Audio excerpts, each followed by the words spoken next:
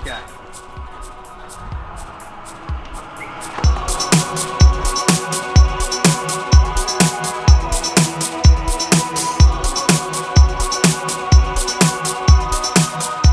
The big thing kind of bearing down on us is the tour, which is more than more than a month off still, a month and a half off, but um, we're gonna rebuild the way the songs are kind of done.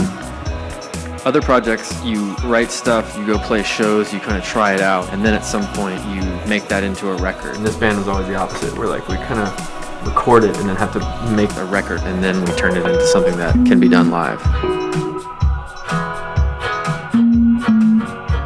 You know, the drum part, there's me singing and playing guitar, and then there's the bass part, and then there's the rest of the sort of synth stuff.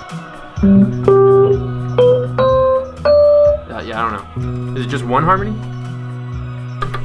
Like for instance, that that choir, kind of mellotron choir thing. I mean, obviously you got to get like eight guys up there to sing that.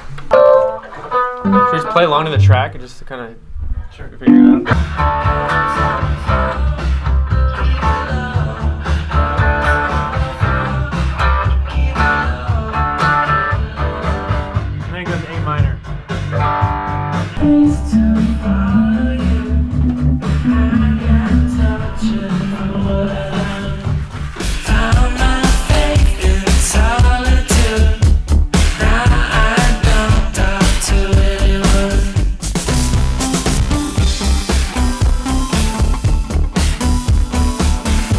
You know, for the last couple of weeks before tour, staying up late, trying to get everything just right, and it always stresses me out really hard.